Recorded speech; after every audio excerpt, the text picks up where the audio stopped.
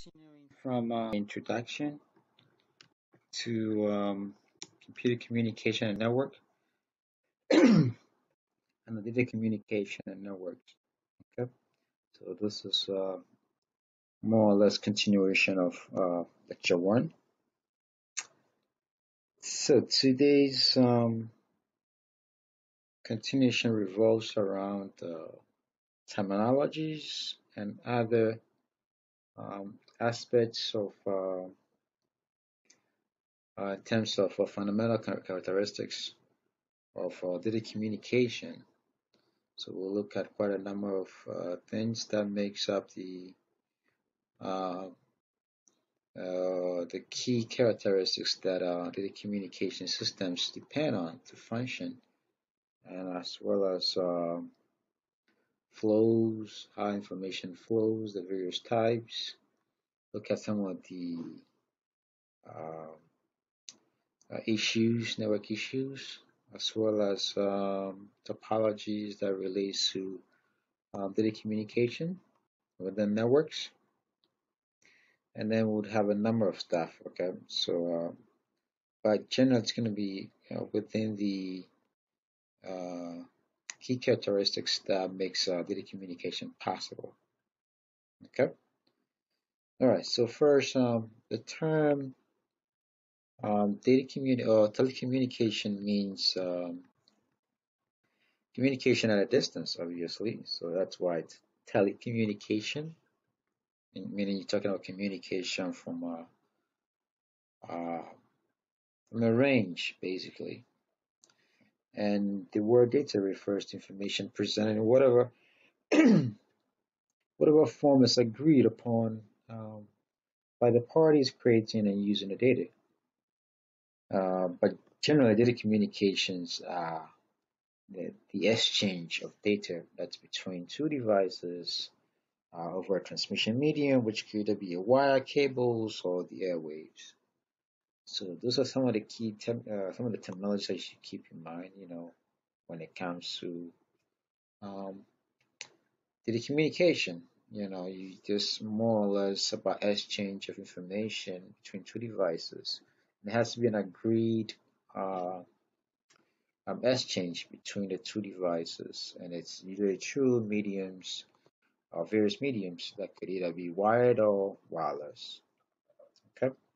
Now, from the fundamental point uh, in terms of characteristics, uh, data communications uh, depends heavily on uh, uh, key fundamental characteristics to make it to make the uh, transmissions effective. So I want to look at some of those and, and see how they play out.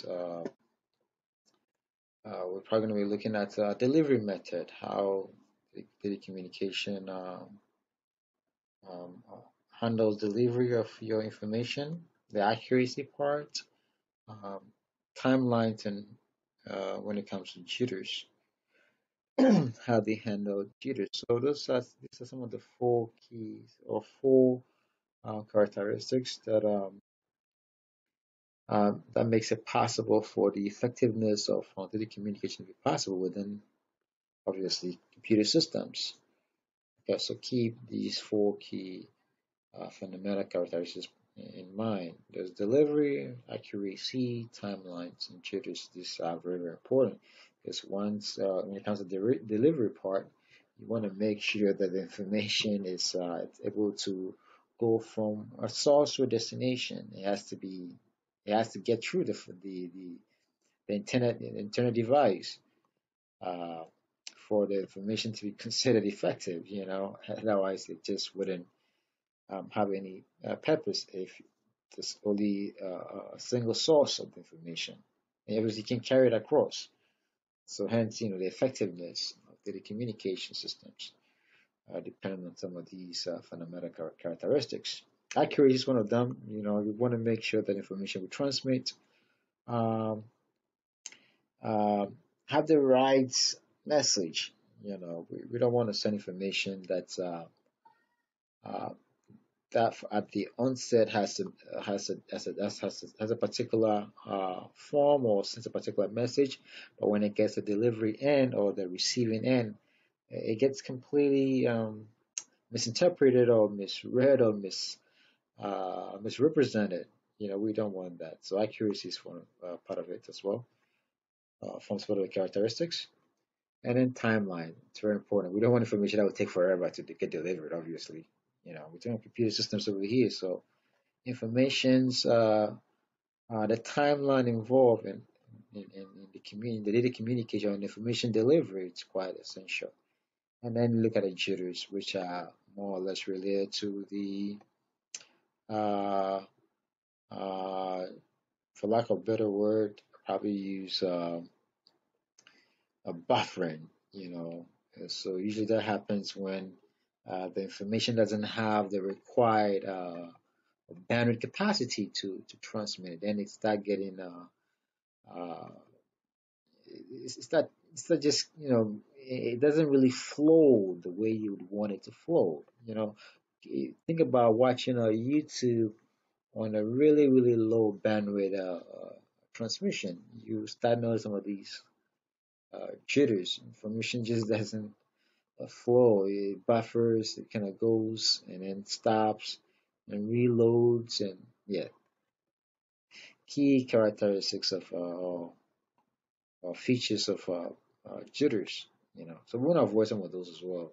We want information to flow. So when you're watching, when you stream information online, it can eh, you, you get that flow of it. And even when it comes to uh, uh, talking on, a, on a, you know WhatsApp calls or other uh, VoIP services, we don't want a situation where uh, the information being communicated um, is kind of distorted you know, at the receiving end. So the other person or other device on the other other end uh, doesn't get a clear uh, message across. You know, so those are all forms of jitters.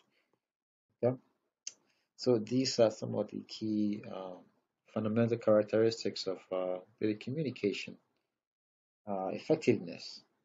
Um, there are five components that makes data communication possible. For some of these to actually um, uh, embrace its effectiveness and I want to look at some of those as well.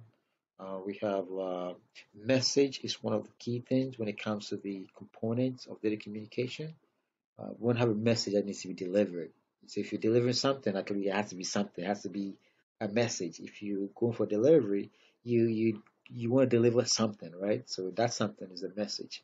So one of five uh, key components of uh, data communication. The other one is sender. You need a sender and you need a receiver. Somebody has to be ready to send or a device has to be ready to send information.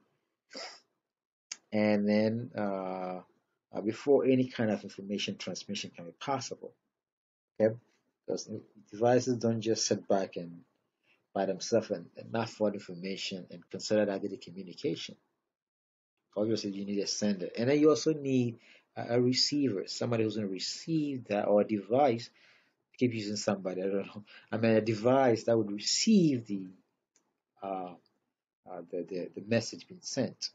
And then you need a medium as well. Obviously, this information that, that's been transmitted between uh, two parties or two devices, a sender, a sender and a receiver, need some kind of medium, kind of like a, uh, uh, uh a channel through which the information can be, you know, uh, passed through between the sender and then the receiver. And that's the medium. So this way you have uh, uh, your copper wires, your twisted pair cables, your either coaxials or fiber optics play a key role, as well as the airwave. And then finally, the fifth uh, uh, component of data communication happens to be the protocols which sets the uh, kind of like the, the, the rules that the uh, the, the, the, the, the, the, messages needs to follow or the delivery of the message needs to follow in order to conform to specific uh, standards uh, for, for the transmission to be possible. So we have message, sender, receiver, medium, and then the protocol. Okay, they're, they're kind of like the the rules, the uh, the rules that governs how these these all these uh, four needs to kind of like follow through in order to get a, an effective delivery of the message. Okay, so protocols will form the standards, you know, that's been laid out for the transmission to be possible within uh, any kind of information exchange or any kind of communication within uh, various systems. Okay, so those are the five uh, components. Um, when it comes to how the information is actually uh, transmitted over the channels or the mediums, we're also going to look at the direction of the, the flow, I mean the directional flow of the data. And there are three, I think there are three, there are three main directional flows that uh, these messages or this transmission or this fundamental component needs to uh, um, that needs to go through or that you have to go through. Uh, the first one would be as simple as directional flow, which is uh, usually when we talk about simplex, we're talking about how a message gets taken from uh, one device to another in just one directional form. So it means that this it's the it, it's either the message going one way or the other way. It that both are not being present at the same time. No, it's not. It doesn't work that way. So for simplex transmission or directional flow information, you'd have uh, one device sends the information at a time, and then the other also sends at a, at a different time. So they are not simultaneous. You know, uh, a, a, typical example would be using a, uh, uh, what you call it, walkie-talkies. That would be a good one. One example if you think devices, device-wise, walkie-talkie, uh, where you for for information to um, uh, to flow, it'd be no no sorry sorry I'm I'm getting this a bit uh, simplex here is purely just one directional. So information is only flowing one way. That's about it. And a typical example in this scenario over here would be um, a radio station broadcasting their their, their their radio services or their message across the airwave, or a TV station transmitting their uh, video transmission just one way. Obviously, you know that uh, you can only watch TV, which is being broadcast from a transmitter, but you can allow the TV to send information back, especially on a typical analog system. Today on digital systems, we do have it about two ways. You can you can have both transmission going uh, taking place, but we're looking at the, the, the three main directional flow of data, data communication. And the first simplex is just one way. So a walkie-talkie doesn't fall over here a walkie-talkie actually falls within the half duplex, where information flows uh, uh, one each way uh, at a given point in time. So, like for instance, within these two devices, this will send at one time, and then like this guy will also reply at another time. And this is where a walkie-talkie plays a key role. If you ever use a walkie-talkie before, you will notice that um, when one person wants to say something, they, they have to press a knob and then talk. And then when they want to hear, they have to release so they can hear. So it's the information flow happens one directionally at a given point in time. It's not simultaneously same time. It's not simultaneously. It happens one at a given point in time. So one, one, one, one device sends information and then after that time expires then another device also send so you get it? So if this device here was transmitting information to this device this has to wait until the information gets to its turn before it can actually reply.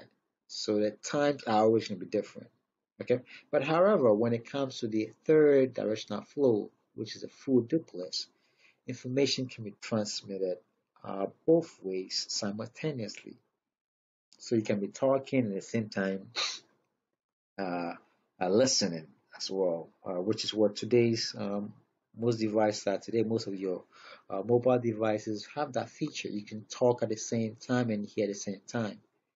You know, so that becomes a full duplex where uh, the, the the flow direction it, it, it it's it's happening simultaneously. Uh, unlike the half duplex, it's one one at a time. You know, you you you send information, and then uh, the other party has to wait until the information gets delivered before they can reply back.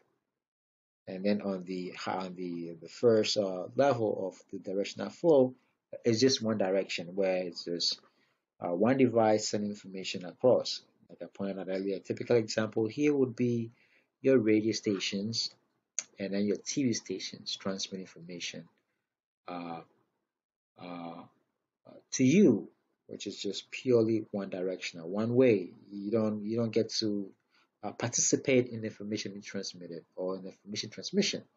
Okay, so your TV stations and your radio stations falls on the simplex, and then your half duplex would have would consist of you know devices like the uh, walkie-talkies. Okay, so half duplex uh, information gets transmitted um, one at a time, basically. And then you do have your full duplex, where you have its uh, information being transmitted or the flow of information happens uh, simultaneously. It's same either way. Uh, so you can, like I said, you can send and receive at the same time. Okay. And as I mentioned, that's what today most of your computer systems, your phone, phones or smart devices or uh, handle full duplex today. They, they're able to uh, transmit and receive at the same time on one particular medium. Okay, either you know whatever medium it is. Okay, either wired or wirelessly. So great. So that is the um, the direction of um, uh, data flow.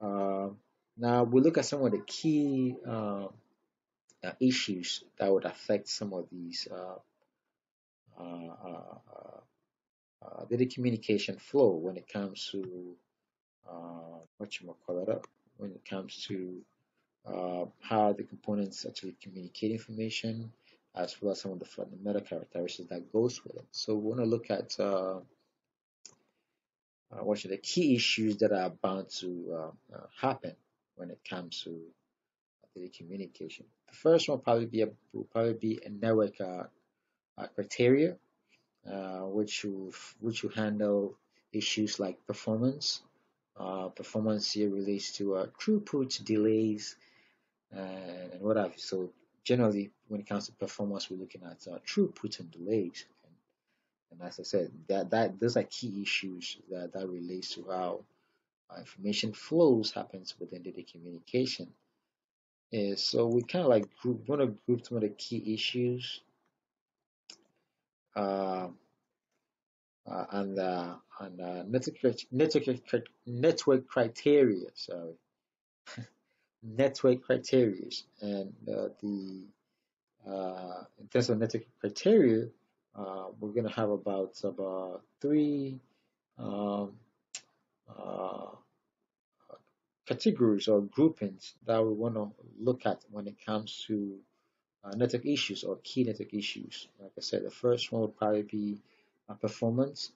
And performance relates to um, throughput and delays. So you're looking at how good, um, how well the, uh, the information being transmitted can be handled within the uh, given bandwidth required for the transmission. So the throughput plays a key role. If do you have enough bandwidth to transmit information, and if if you do, uh, what are some of the delays that that that that that, that, that comes up? Okay, so each key issues, keep that, keep that in mind. We are talking about the key issues that you're going to encounter when it comes to the communication and at a network le uh, level. Okay, so network criteria, we're looking at performance. We also look at the reliability. And reliability here, we look about, we, we want to talk about did it transmitted, uh, are they identical to uh, whatever was received? So assuming you sent uh, the high message uh, from the onset. Uh, at the receiving end or from the sending point at the receiving end is it the same high message? Has it changed? Are they identical? Or have they uh, have they changed form shape? I don't know uh, in terms of content have they changed? So that, that, that falls under that falls under the reliability the other one is measuring of the frequency of failure within the system. How often does uh, uh, data being transmitted fails. You know, is very frequent because uh, when it comes to uh, the communication in general within your systems, especially network systems, um, uh, SLAs or service level agreements are quite important. Uh, that's why ISP sometimes um, uh, can can tell because these are inevitable. Reliability in terms of uh, whether there's going to be information failure or not are, are going to be uh, they're going to be inevitable because you're dealing with computer systems and various uh, other component that goes with it. Yeah, okay. Of course, network in general here. Um, you're going to have to deal with some of these issues. But the question is, how frequently does it happen? And how do you guarantee the reliability of it? So at least you can say that, okay, uh, for a service level agreement within a given service, within a given bandwidth uh, service or data transmission service, you can say, okay, I can guarantee about 95% uh, of information getting getting delivered, and only 5% has a failure rate. Okay, or you can guarantee only 1%, or even 0.1%. It's always ideal to go for some of those high um, service level agreements uh, uh, from your service providers. When an ISP says, I'm going to give you, I'm going to assure you uh, a 99.99% um, SLA, that, that's a good that's a good service level agreement. Basically telling you that uh, when you sign on to our service, we can guarantee that we can guarantee that your message will successfully delivered in, in, in its reliability and you only have to worry about 0.1 percent. That that's that that that actually that's good because they want um, that perform want that accuracy within information transmitted. The time it takes um, a link to recover as well is also a key part, a key part of the key issues with the networks. Okay, so when there's a failure, how quick does the system recover itself? You know, some systems are designed to to handle some of these recoveries uh, uh, dynamically and automatically. And the question is how effective and reliable are those systems in terms of how they handle recovery uh, rates. And that's where you talk about how good a device is built or how good the implementation of the system is. And those are some of the key guarantees that can help address uh, reliability. But without those, you can have that these it becomes key issues. Okay, so it's like I said, network key issues that I was looking at. The other part, the third part of the another network criteria is um, security, which is protecting the data from uh, unauthorized access. We really don't want the uh, the wrong kind of people having access to the information that we are that we're transmitting. Okay, so how do you secure this information? It's always a huge issue today. Um, security is a huge part of um, most computer network systems or computer data, commu- data communications systems. A lot of um, businesses are employing and paying a huge amount of money for security um, experts to make sure their information don't get in the wrong hands. Okay? So security is a huge issue. It's a key issue, obviously. So there has to be a way to um, uh, to, to to address some of these things we definitely have to look at that from a very uh, a critical point, you know. Uh, terminologies that we mentioned up here, here, is throughput, which is actually, or throughput relates to the bandwidth, as I mentioned earlier within that.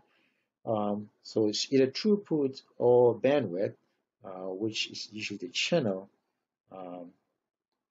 that uh, that handles a number of bits that can be transferred uh, per given second. So you say throughput, you're basically looking at uh, yeah, the bandwidth of a channel uh, to handle a specific number of bits uh, within a given transfer per second.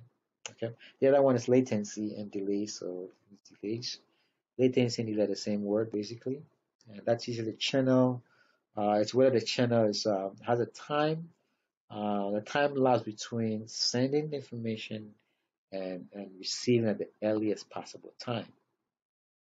Okay, so so two key terminologies or, or that we also need to take consideration when it comes to uh, the performance within the key issues on a network uh, uh, network of data communication services. So yeah, show throughput or bandwidth. Uh, the channel is the number of bits it can transfer per second, whereas the latency or delay of the channel is the time that elapsed between sending information and the and the time it takes to receive it at the earliest possible time, or the its reception at a particular at a given uh, point in time.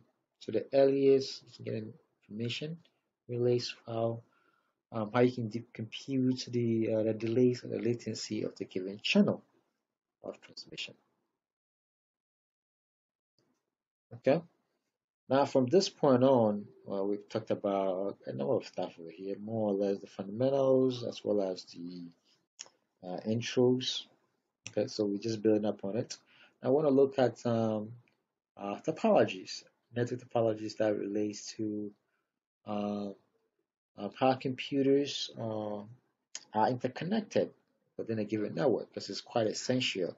Uh, the fact that we have all these directional flows and messages, we, we still have a structured way of uh, handling how the information uh, it, it's, it's um, or the system is it's connected to uh, to to basically handle uh, the information being transmitted as well as address some of these key issues that we have. So topology is defined as the way hosts are connected to a given network. Okay. And obviously, when it comes to that, you're looking at specific goals uh, that you want to address. And some of those specific goals are more geared towards addressing some of these issues here. Okay. So one of the one of the goals is to to get high throughput, obviously get high bandwidth, and then minimize the uh, the latency. Okay. So yeah, so the terminologies as I mentioned, the throughput and then the bandwidth, as well as the latency and or its delays or the delay part of it. Okay, so yeah, topology, which defines the, uh, the way um, hosts are connected to uh, networks, and yeah, uh, network uh, goal, issue, goal goal issues is to address um, is to basically obtain high throughput and, and have lower uh, latencies or delays within transmission. Okay, so we just so basically you can say that uh, topologies are more or less designed to help address issues um, that relates to uh, networks like throughput, delay, reliability, security, and what have you, or performance, reliability, security. Okay. Okay.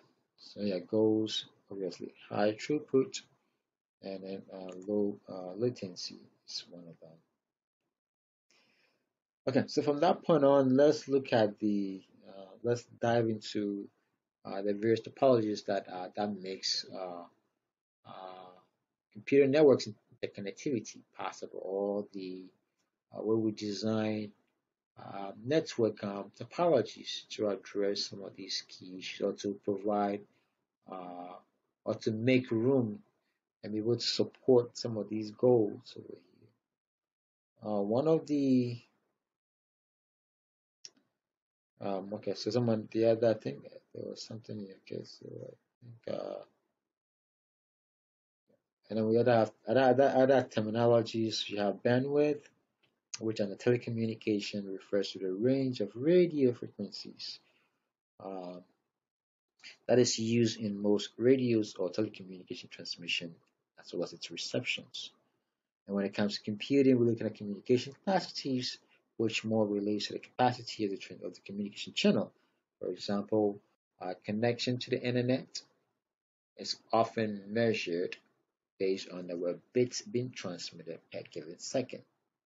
Okay, so which would, in other words, fall under um, uh, the the throughput part, is the bandwidth, right? Great.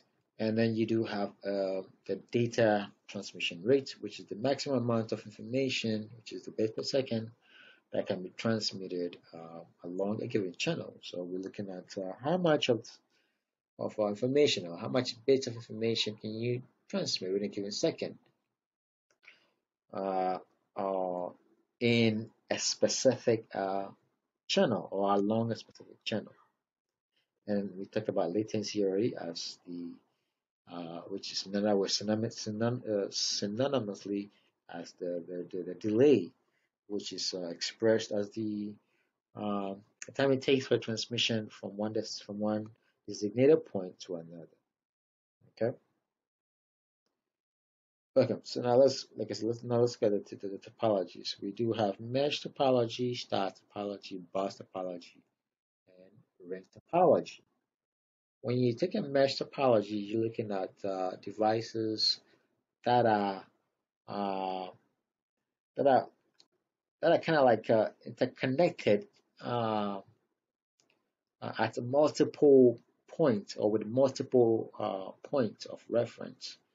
Uh, so assuming that you have about uh, uh, three devices or 45 devices and you want to interconnect them on a mesh, it means that uh, each device must, must have probably um, um, a connecting point to each and every other device within that network, which is the five devices. So each one, each one of them must have a way of interconnecting to each other.